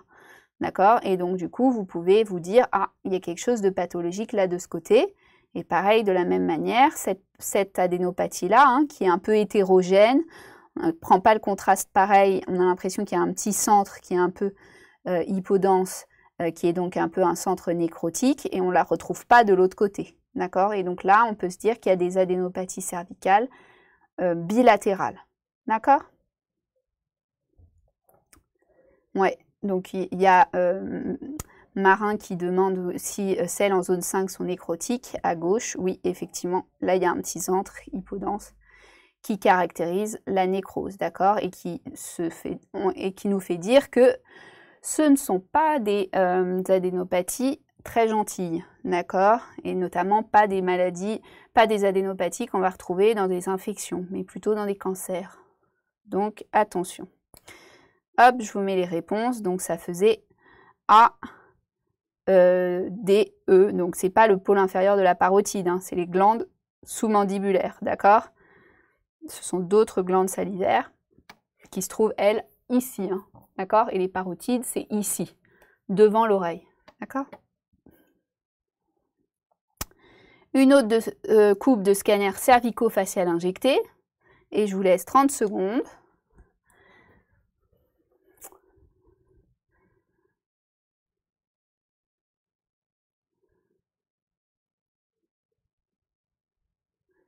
Les parotides, hein, elles sont, je vois plein de questions là, comment on peut savoir que ce n'est pas les parotides. Les parotides, elles sont bien plus hautes et surtout, elles sont extérieures à la mandibule. Si vous êtes intérieur à la mandibule, c'est forcément les glandes sous-mandibulaires. D'accord? Les parotides, elles sont devant la mandibule et elles sont plus hautes. D'accord? Il y en a les mangeurs de pain et les buveurs de bière qui ont des parotides très grosses et très développées, mais euh, elles, restent extérieures, d'accord? Euh, À la mandibule, hein. très important. Donc, en ce qui concerne euh, les affirmations de ce scanner, donc cervico-facial injecté, ici il s'agissait bien du muscle sternocleidomastoïdien gauche, Là, je vais remettre mon curseur. Donc ici, sternocleidomastoïdien. Ici, vous avez le cartilage thyroïde, hein, celui en fameux bouclier qui fait la pomme d'Adam des garçons. Et ici, ce, n'est pas le cricoïde, mais c'est les aryténoïdes. C'est les deux petits cartilages qui, font les, qui supportent vos cordes vocales, d'accord Et qui font tout dans votre parole, d'accord Et qui sont articulés plus bas avec le cricoïde. Et le cricoïde, il est plus, quand vous voyez deux petites boules comme ça, c'est les aryténoïdes. Et le cricoïde, il fait vraiment une bague. Et donc, vous allez le voir de manière plus linéaire sur le scanner, d'accord Là, vous avez la veine jugulaire interne, c'est ce que je vous disais tout à l'heure elle est toujours plus latérale que l'artère carotide et elle est surtout toujours moins ronde et donc moulée sur l'artère carotide, d'accord Parce qu'elle est plus euh, dépressible, d'accord Elle a moins de tension que l'artère carotide, bien sûr. Ce n'est pas l'artère carotide externe, d'accord C'est l'artère carotide commune, parce que l'artère carotide, elle se divise au niveau de l'osioïde, et l'osioïde, il est au-dessus hein, du cartilage thyroïde. C'est l'os que vous sentez ici, sur lequel sont attachés tous vos muscles euh, de la langue notamment. D'accord? Et c'est là que se fait la bifurcation entre l'artère carotide externe et l'artère carotide interne. Donc tout ce que vous avez en dessous de l'osioïde, c'est l'artère carotide commune. D'accord? Je vous remets.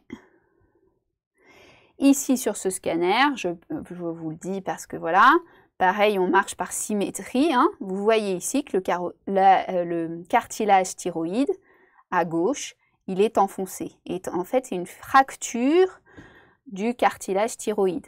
C'est des patients qui viennent, euh, qui sont parfois gênés pour respirer, qu'il faut prendre en charge en urgence parce que vous imaginez qu'une fracture à ce niveau-là, ça peut faire gonfler.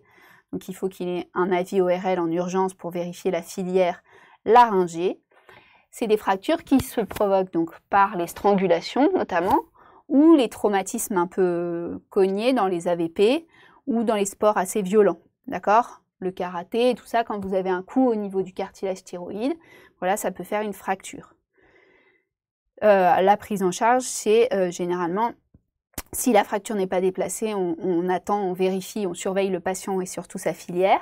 Et si jamais par contre le cartilage est très déplacé, on peut être amené à faire des petites, euh, des petites euh, ostéosynthèses euh, par voie chirurgicale. D'accord? Donc là, c'est une fracture du cartilage thyroïde. Dans les traumatismes, je voulais vous en montrer une. Et puis, je voulais surtout vous indiquer que même parfois, si ça peut être des, des choses un peu, des diagnostics un peu tirés par les cheveux, si vous savez l'anatomie de votre scanner et que vous regardez la symétrie de ce scanner, vous constatez, même si vous le montrez à quelqu'un qui n'y connaît rien à la médecine, il va vous dire qu'à gauche, enfin en tout cas à droite de l'image, c'est différent de euh, à gauche de l'image, d'accord Et qu'il se passe quelque chose de ce côté-là, on a l'impression que c'est plus enfoncé. Je ne vous ai pas fait de quiz sur le scanner des sinus, mais c'est important euh, de le connaître bien, parce que pareil, c'est tombable sur les différentes structures, sur les différents sinus. Euh, il y a beaucoup, beaucoup euh, de patients qui nous sont adressés en ORL pour des scanners des sinus qui sont en fait normaux, mais considérés comme pathologiques. Euh, ici, je vous ai mis un exemple typique de scanner des sinus de polypose nasosinusienne. Donc, vous l'avez ici en coupe coronale, ici en coupe axiale, avec un comblement, donc au lieu d'être noirs, les sinus sont gris, puisqu'ils sont comblés par des polypes des deux côtés de façon bilatérale et symétrique. Je rappelle encore une fois, une polypose nasosinusienne, ça atteint les deux côtés. Si vous avez un comblement uniquement d'un côté, il faut se poser des questions. Ce n'est pas une polypose nasosinusienne et ça peut être une tumeur. Et donc, il faut faire une IRM et il faut faire des explorations complémentaires. Vous avez ici les sinus maxillaires en contact étroit avec les dents et avec l'orbite, le sinus ethmoïdal, d'accord? Et pareil ici, vous voyez une coupe typique de cellules euh, ethmoïdales qui sont remplies de polypes. Et vous voyez ici le contact étroit entre les cellules ethmoïdales et euh, l'orbite. D'accord? Donc, je n'ai pas, pas, trop le temps euh, de m'éterniser sur le scanner des sinus. Ici, vous voyez qu'il y a effectivement une muqueuse épaissie du, euh, du sinus maxillaire. Ça, ça ne veut pas dire qu'il y a une sinusite maxillaire. D'accord?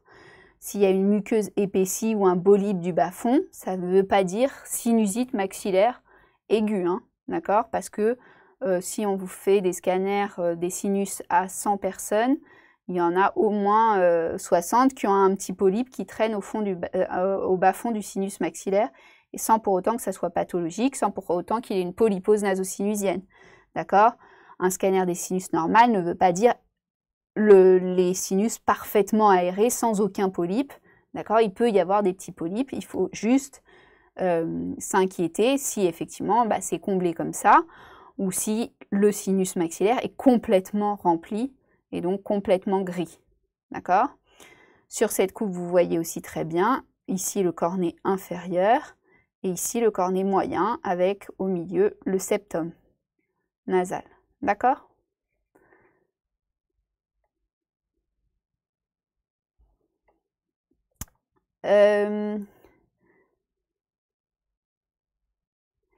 il y a quelqu'un qui demande si c'est pas du coup plutôt la jugulaire droite.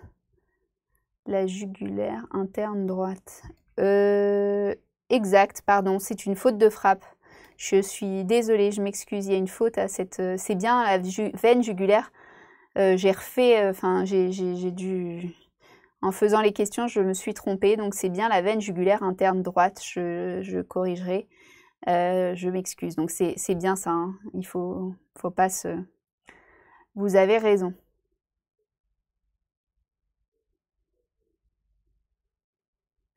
Et donc, il y a quelqu'un qui a demandé pourquoi on a l'impression que la jugulaire interne gauche ne prend pas autant de contraste que la droite. Ça, c'est juste des différences euh, d'injection. Euh, il n'y a pas de... Ça n'a ça, pas de signification radiologique. Hein. D'accord? Et je suis désolée pour cette coquille, c'est bien interne droite. On va terminer avec un petit otoscopie quiz euh, pour se mettre en forme parce que c'est un examen qui fait partie de l'examen clinique mais qui peut facilement tomber parce que maintenant on fait de très belles photos de tympan euh, parce qu'il y a même en vente des otoscopes euh, sur, euh, sur des sites internet style Amazon et tout ça pour 20 euros. Donc il y a des très belles photos qui peuvent être prises et donc ça amène très belles photos. Qui dit très belles photos dit on a envie de les mettre dans des cas cliniques et donc on peut vous les poser.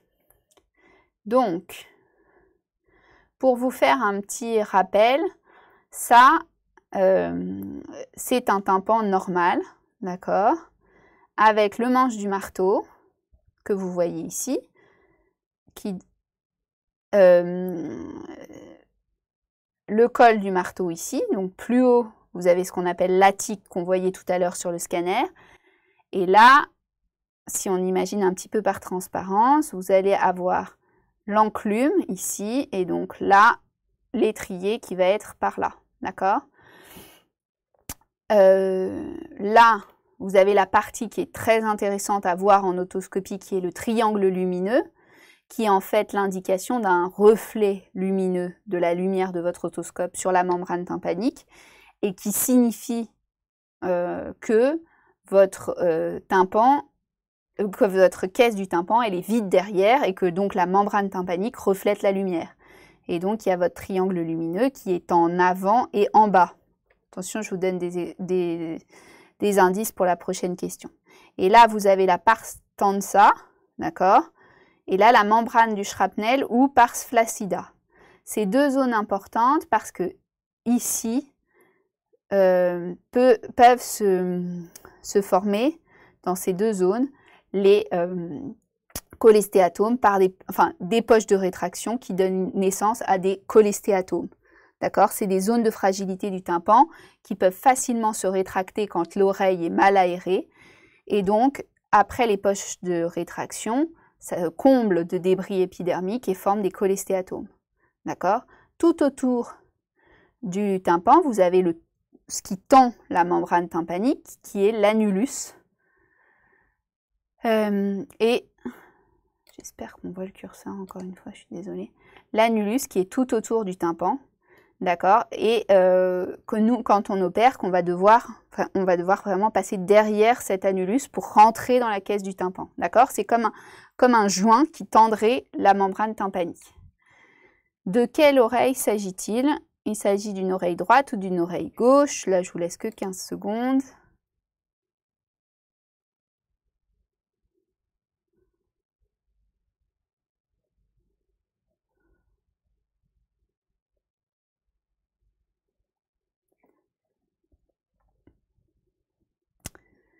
Donc, vous avez plusieurs moyens de savoir répondre à cette question. Je vous ai dit que le triangle lumineux, il était en, bas et en avant. Donc, ça nous donne déjà une idée. Donc, gauche. L'autre moyen, si vous perdez un petit peu vos moyens lors de l'examen, euh, vous voyez ici, alors là, je vais essayer de bien mettre le curseur parce que c'est important. Vous voyez ici que le, col du marteau et le manche du marteau forment un, un, angle, hein, ici à gauche, et que si on le complète comme ça, hop, donc il faut être assez imaginatif, mais si on le complète là, ça fait un G pour gauche, d'accord? À l'inverse, si vous avez un tympan droit, ça sera dans ce sens-là, d'accord? Et si vous rajoutez une petite barre, ça fait un D pour droite, d'accord? Donc ça, c'est dans tous les cas. D'accord? Et sinon, vous avez le triangle lumineux qui est en bas et en avant qui vous permet aussi de déterminer le côté. C'est mes deux moyens euh, de reconnaître une photo de, tympan droit ou tympan gauche. quand ça sera trop complexe, laissez-moi vous dire qu'ils ne vous poseront pas la question. D'accord? Le patient présente une surdité gauche avec une otoscopie gauche cisjointe. L'autoscopie droite est normale. Quelles sont les affirmations vraies? Hop, je vous laisse 30 secondes.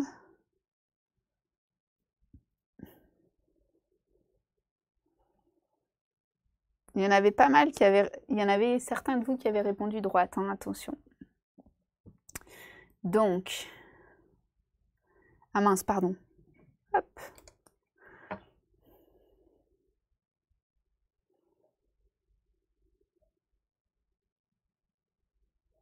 Ouais, alors désolé pour ceux qui étaient en train de manger, hein. je suis désolée, c'est pas très appétissant. Donc, c'est une cause de consultation très fréquente en ORL, donc je ne pouvais pas ne pas vous en parler, et parce que ça serait bête de perdre des points sur un, truc aussi bête. Mais le monsieur, il n'entend plus, généralement, il a mal, et vous avez ça. Il ne faut pas, euh, en termes de fréquence, euh, vous savez que c'est un bouchon de cérumen, d'accord? Mais ça peut rendre sourd, ça peut faire une vraie surdité de transmission, d'accord?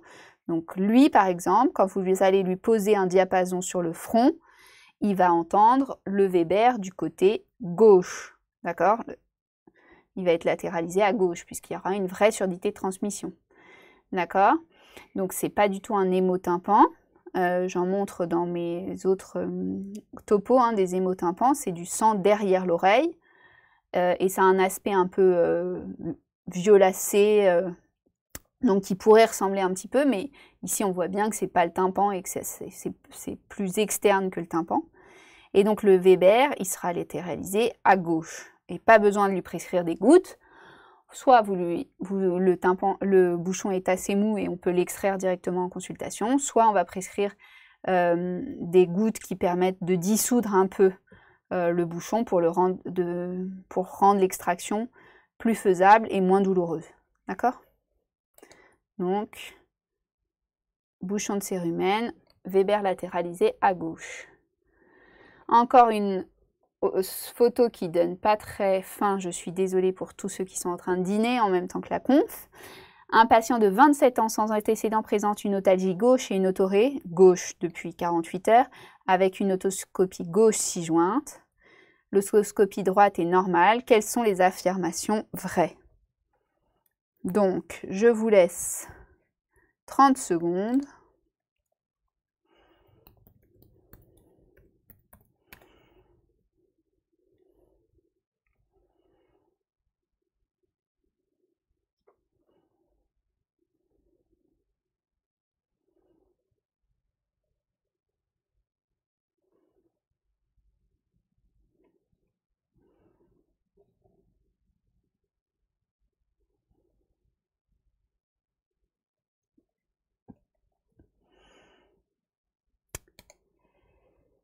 Donc, vous avez une otalgie, donc otalgie douleur de l'oreille gauche avec autoré, écoulement de l'oreille gauche.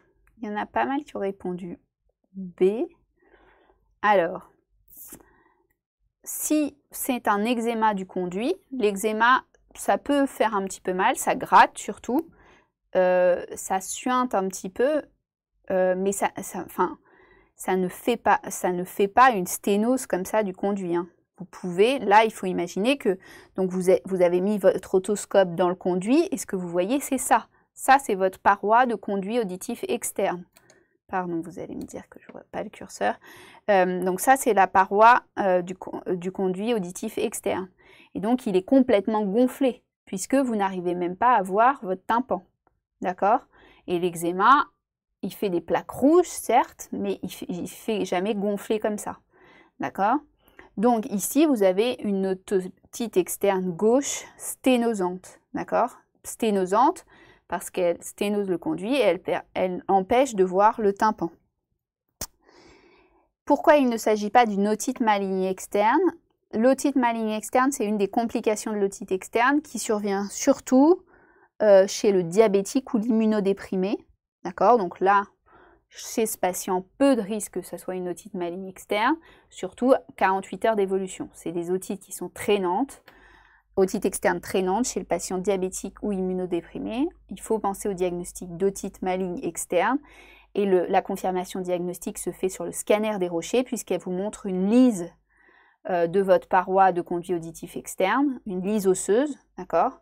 Et donc il va y avoir une antibiothérapie intraveineuse adaptée euh, de manière prolongée. D'accord?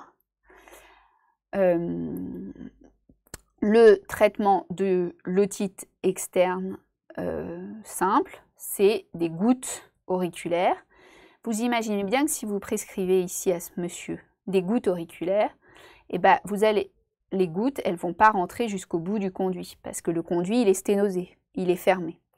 Et c'est pour ça qu'on aide les gouttes à rentrer avec un petit, ce qu'on appelle un pop. Euh, en gros, c'est un petit coton qu'on va introduire dans le conduit auditif qui va permettre à la fois de calibrer le conduit et de mieux faire l'absorption des gouttes auriculaires antibiotiques. D'accord? Il n'y a pas besoin pour traiter une otite externe de faire une antibiothérapie par voie générale. D'accord? Le traitement est uniquement local. Euh, voilà. L'eczéma, c'est un facteur favorisant de l'otite externe, puisque vous imaginez que vous avez des lésions dans le conduit auditif externe, donc l'eczéma des conduits, que en plus le patient il va se gratter parce que ça le gratte, et donc ça va infecter ces lésions et ça va créer des otites externes. L'autre facteur favorisant qui va arriver là bientôt, c'est les euh, baignades parce que y a de, vous allez vous baigner, l'eau stagne dans le conduit et, euh, l'eau stagnante c'est pas bon, ça se remplit de bactéries et donc ça fait ces, euh, ces, otites externes, d'accord? Il y a les otites mycotiques aussi, d'accord? Donc soit des otites externes bactériennes, donc là vous avez le, le cas typique, d'accord? Et les otites mycotiques qui ont tendance à être plus traînantes et qu'on reconnaît parce qu'on voit les filaments dans le conduit. D'accord? On voit des filaments et des dépôts euh, mycotiques. Et donc on peut les analyser, les envoyer en analyse, mais surtout on met des gouttes anti-mycotiques. D'accord?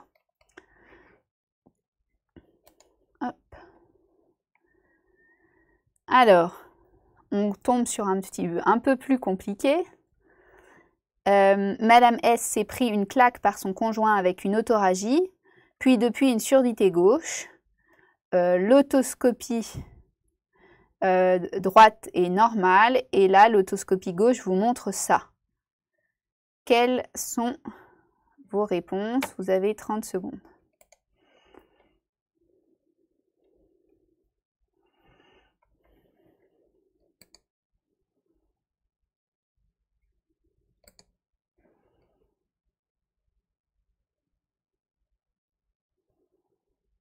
Alors, j'en profite pour répondre à la question de Marin.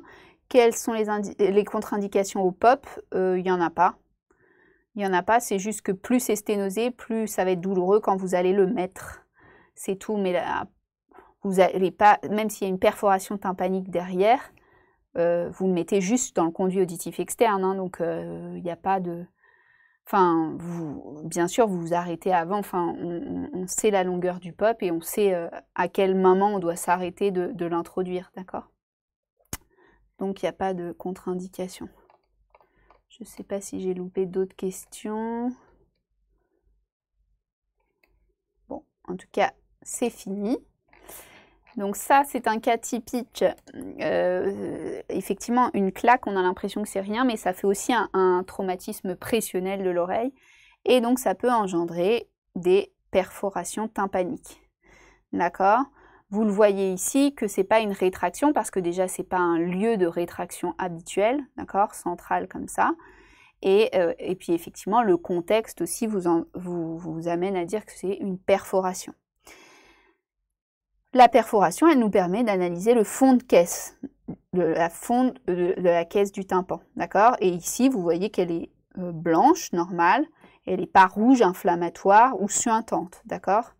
Donc elle n'est pas inflammatoire, le fond de caisse n'est pas inflammatoire. Et la perforation tympanique, elle est non marginale. Marginale, ça veut dire qui touche l'annulus, d'accord? Qui touche, en fait, euh, être en marge, ça veut dire être au bord, d'accord? Donc si vous êtes marginal, ça veut dire que vous êtes au bord. Donc la perforation, elle sera au bord du tympan et elle touchera l'annulus qu'on voyait tout à l'heure. Hein. Si je vous remontre, pardon, l'annulus qui est ici, d'accord?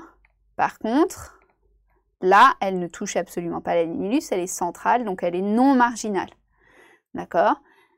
Le traitement sera chirurgical d'emblée Non, pas du tout parce que vous avez quand même euh, bien plus de la moitié des perforations. Alors bien sûr, il y a un effet de taille, hein, mais les perforations comme ça, traumatiques, elles ont tendance à se reboucher de manière spontanée avec euh, une, un, un néotympan qui se forme et qui comble le trou.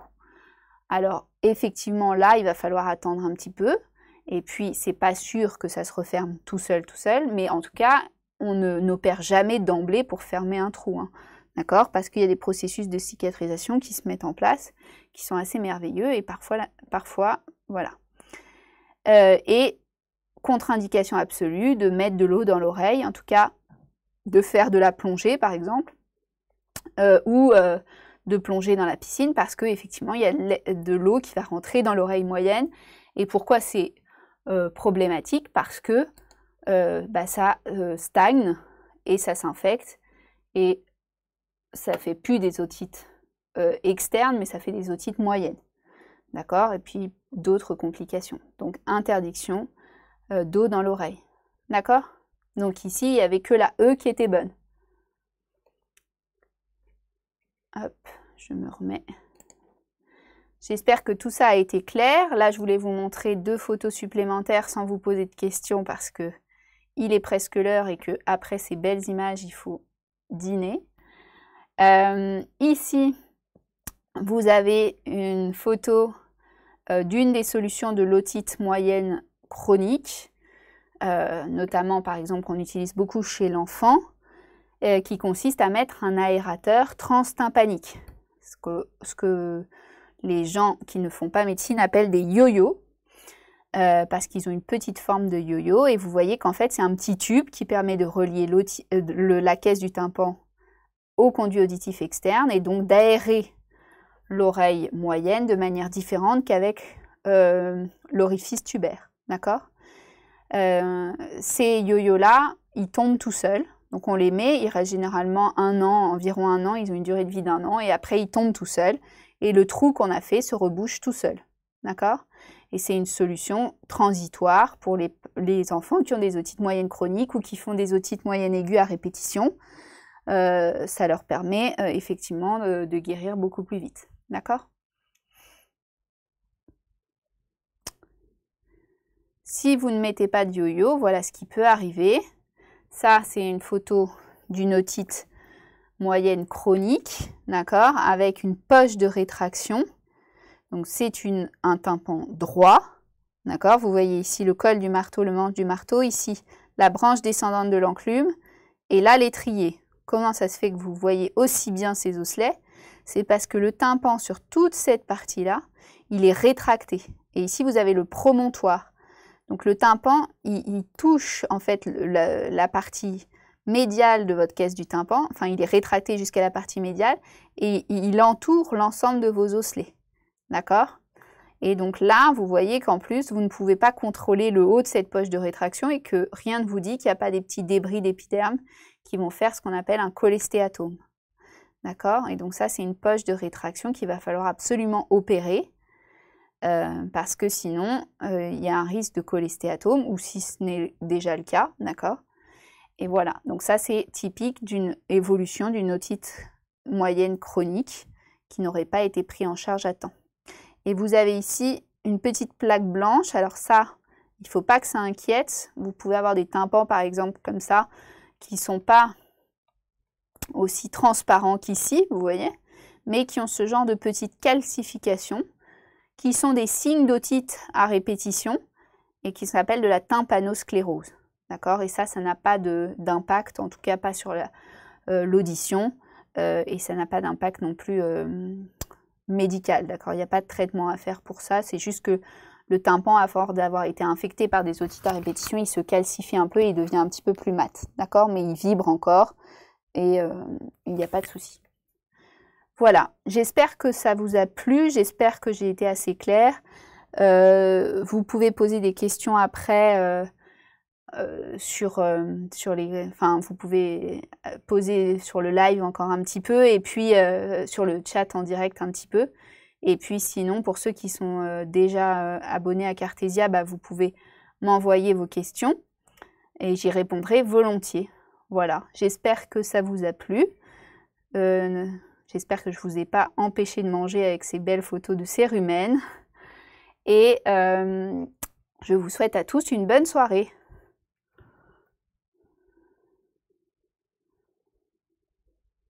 Et je remercie beaucoup euh, la modératrice qui a bien répondu aussi à toutes vos questions, Julia.